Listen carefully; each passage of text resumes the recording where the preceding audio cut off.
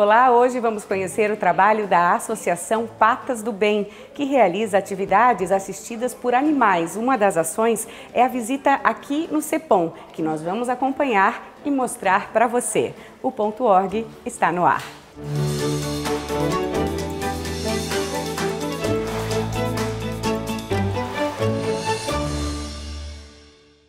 Glória, Bartô, e Beta são os trabalhadores de hoje.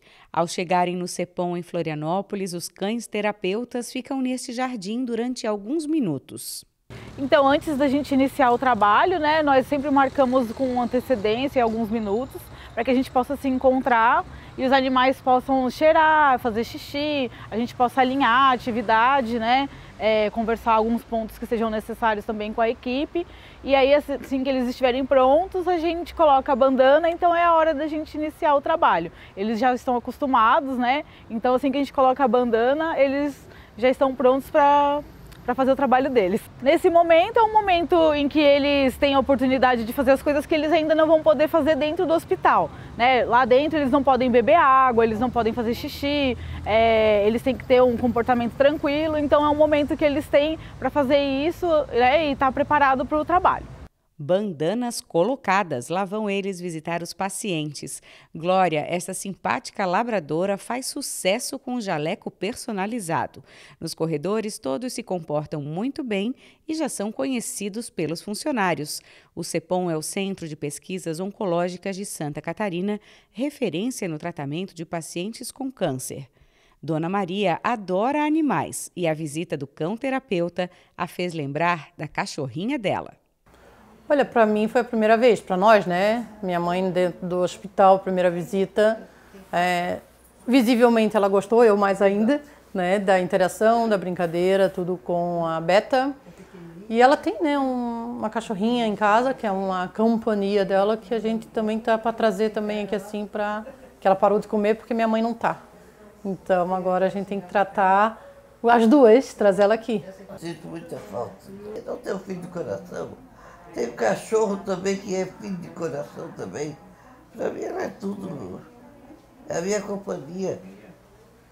Alex também recebeu esta visita tão especial. Foi bom, né? Que é tipo é uma alegria, porque a gente fica muito preso dentro do quarto, sabe? E tipo, mais ainda mais a gente que gosta de cachorro. Então foi bom, é bem dócil, educada também. Eu gostei de receber a visita. A Glória vem de uma família de trabalhadoras aqui do CEPOM. A primeira a trabalhar foi a avó dela, chamada Amada. Aí a mãe dela e agora é a vez da Glória. Então ela já está aqui também há mais tempo. Então ela tem o crachá e tudo de funcionária. E o jaleco porque ela vem dar consultas. Aí a gente pergunta opinião, ela dá a opinião dela. Então, esse é uma interação que a gente tem durante as visitas, né? Eu gosto dos cachorros, sabe? Eu tenho cachorros há muito tempo. E eu acho que é um desprendimento tu pegar um sábado como esse e dedicar esse teu tempo tanto para o cachorro quanto para uma pessoa.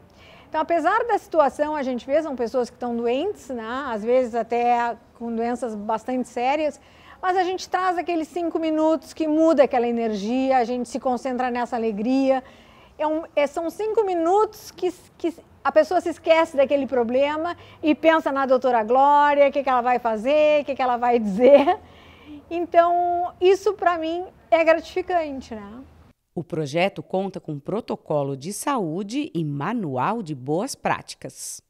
O animal ele é higienizado, ele né, é, tem um banho antes ao atendimento ou no mesmo dia do atendimento com clorixidina, que é uma substância que ajuda a limpar bem, é uma substância antisséptica, né? Quando a gente vai para um ambiente hospitalar, não só no ambiente hospitalar, mas lá a gente tem que tomar mais cuidado por ter bactérias multiresistentes. Então, essas bactérias podem fazer mal tanto para o nosso animal, que a gente tem a maior preocupação com ele, né? Mas ele também pode estar levando alguma coisa para dentro dos hospitais. Os pacientes lá já estão com uma imunidade mais baixa. Então eles tomam um banho com clorixidina. Ao chegar no hospital, a gente higieniza o animal novamente com um lencinho de oxi, uh, clorixidina E durante a, a, o nosso atendimento, a gente pede para todo mundo lavar bem as mãos com água e sabão ou passar um álcool em gel antes de tocar nos animais, né? E se por acaso são funcionários do hospital, a gente também pede a gentileza para ele tirar esteto, jaleco, para também não entrar em contato com o animal. Daí lá, principalmente, a gente cuida para o animal não lamber, não lamber o chão, né? Acaba o atendimento, novamente a gente uh, faz uma sepsia no animal também com lenço de clorixidina. Nós no hospital ficamos responsáveis por selecionar os pacientes, por preparar o ambiente, por capacitar essas pessoas que vêm, né? E a ONG, o Patas do Bem, fica responsável por selecionar os animais, treinar e fazer o controle sanitário. Então, é uma parceria que funciona muito bem, né? É, desde que esse trabalho começou, a gente percebe que os pacientes gostam muito, que é um hospital oncológico, então o paciente interna muitas vezes o mesmo paciente ou ele tem internações longas. É, quando eles reinternam, eles já reinternam perguntando: e a Glória? E o Bartô? Né? E a Beta? E tantos outros animais que já passaram aqui. A gente ficou dois anos sem o trabalho por causa da pandemia, né? Foram um pouquinho mais de dois anos. É, e tem paciente que tratava lá antes e que até hoje lembra que agora a gente está voltando nos agradece. Dia que tem visita, a gente percebe que tem paciente que estava mais debilitado, mas naquele dia resolve comer melhor, resolve deambular, caminhar pelos corredores, é, se alimenta melhor. Então, apesar de ser uma atividade assistida que não tem um objetivo específico, é um objetivo geral de proporcionar qualidade, a gente consegue ver vários resultados é, muito significativos. Então, é um trabalho que nunca teve intercorrência, só tem, só tem a contribuir para a melhora dos nossos pacientes. O projeto Patas do Bem também realiza visita dos cães em abrigos que acolhem vítimas de negligência familiar.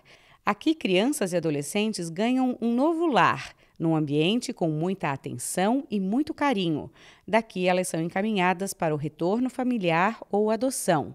A visita dos amigos de quatro patas sempre é aguardada com ansiedade. Essa visita dos amigos de quatro patas acontece a cada 15 dias aqui no lar. E é uma festa, né, Regina? A preparação começa muito antes, na verdade. Sim, aqui para nós, né, as crianças já acordam cedo, tomam café, já sabem que é o dia da chegada das patas do bem. E eles se preparam, se arrumam, tem todo um contexto. A gente sabe também que os terapeutas preparam os cãezinhos que a hora que colocam a bandana no cãozinho, ele já sabe que vai sair para uma atividade bem interessante, uma atividade legal.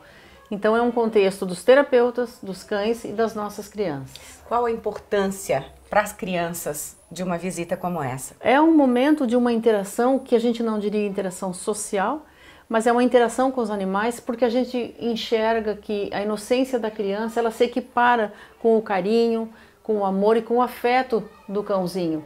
Então é, as crianças curtem, as crianças colocam a sua emoção no momento que estão vibrando, que estão brincando com os animais.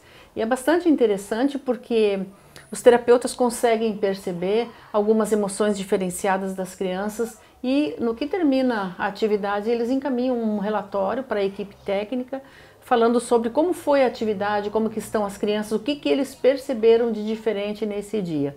É um dia realmente de alegria para as nossas crianças. Uma troca também de muita informação né, a ser trabalhada. Sim, porque a criança está trabalhando um amor que na verdade ela está sofrendo, tá? Então ela está sofrendo a falta de um amor e ela se doa totalmente por animal e o animalzinho é, é, dá em troca, né? A gente sabe disso. Ainda mais, Regina, nós estamos falando de crianças em situação de vulnerabilidade social, né? É, o nosso abrigo ele acolhe crianças que o Conselho Tutelar nos encaminha, a vara da infância porque são crianças que têm situações de risco, de vulnerabilidade social, que são retiradas das suas famílias. E aqui é feito todo um trabalho para encaminhá-las ou ao retorno familiar, preferencialmente, e caso não haja retorno familiar, para adoção. Caso não haja nenhuma das duas possibilidades, a criança pode ficar aqui até os seus 18 anos. Quando tem os 18 anos, a gente faz todo o encaminhamento de trabalho, de um local de moradia, é feito um chá de casa, preparando a casa para essa criança, para essa jovem, né? Há 15 dias nós tivemos uma que saiu, para que ela se sinta em casa. Falando sobre o amor existe, que ela é amada, os cães demonstram isso. Demonstram a gente viu imagens de muito amor, né? De muito apego. É verdade?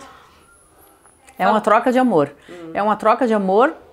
A criança recebe e dá. É um momento é, feliz. E o resto do dia a gente também observa que o resto do dia, quando os patas do bem passa por aqui, as crianças estão alegres, as crianças estão é um dia diferente, a gente tem certeza disso e que faz muito bem. E a gente percebe durante a semana o quanto fez bem aquele projeto, aquele trabalho com as quatro patas ali, né? E eles esperam esse trabalho. Quando que vem o Patas do Bem? Eles me perguntam da semana inteira, né? Aí eles falam do, dos cachorros, né? De como que foi, das brincadeiras, que pentearam os cachorros. E, e isso, essa parte do toque para eles é muito importante né? Que eles, eles têm esse receio, né? Do tocar, do mexer. E ali com o cachorro eles conseguem se expressar muito e, e ao mesmo tempo assim a gente percebe grandes evoluções em cada um deles. A associação começou como um projeto Cão Amigo. Gabriela acompanhou esse início. Vai contar pra gente como é que foi, Gabriela. Em 2009, a, a equipe do Cão Amigo e Companhia de Curitiba uh, criou a base aqui em Florianópolis. Após seis anos, a gente teve a independência né, do, do Instituto e foi a formação da Associação Patas do Bem Animais de Terapia, que consiste no trabalho realizado de atividade assistida por animais nas instituições CEPOM, HU na ala de pediatria e no lar Nossa Senhora do Carmo, aqui em Florianópolis. Gabriela, são muitos benefícios que as ações proporcionam, né? Quais os principais? Os principais benefícios é o aumento da autoestima dos assistidos, a diminuição de pressão arterial, de ansiedade, relaxamento e o amor incondicional dos animais, a troca de energia positiva. A associação recebeu uma medalha de honra. Queria que você falasse sobre essa importante conquista. Em dezembro de 2019, nós tivemos a honra de receber a medalha de honra ao mérito João Paulo II. Uh, ah, e também em 2021 nós conseguimos o certificado de utilidade pública, o que nos traz uma grande conquista de estar fazendo parte do, de um projeto no edital junto com a prefeitura em parceria na, com um projeto da prefeitura de Florianópolis. Uma conquista dessa traz muita credibilidade, né, para a associação.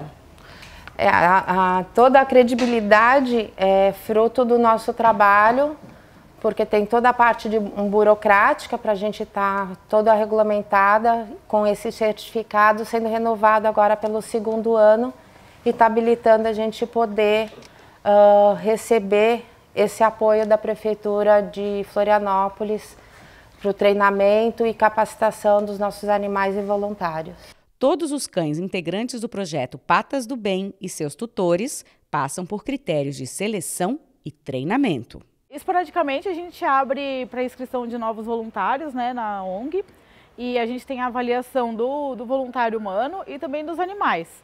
Né? É, dos, na, na parte dos animais é imprescindível que eles gostem muito de pessoas, que eles sejam dóceis. É, a gente tem uma primeira avaliação que é, é para ver se o cão tem uma tolerância a barulho, ao toque, se ele é, aceita é, que tire a comida da boca dele, se ele tem autocontrole. Então tem uma série de, de fatores que a gente analisa, né, primeiramente com o do, do, dos animais, e de, assim que eles são aprovados, eles continuam sempre em treinamento e avaliação. Então a gente vai estar sempre observando quais são as questões que precisam ser trabalhadas. A gente trabalha junto com o tutor, né, porque os cães são é, dos voluntários, né, não são da ONG. Então, cada tutor é responsável pelo treinamento do seu cão. Então, eu que sou responsável pela área de comportamento, dou um suporte para os tutores e a gente vai trabalhando as questões necessárias. O Ponto Org de hoje termina aqui. Até o próximo programa.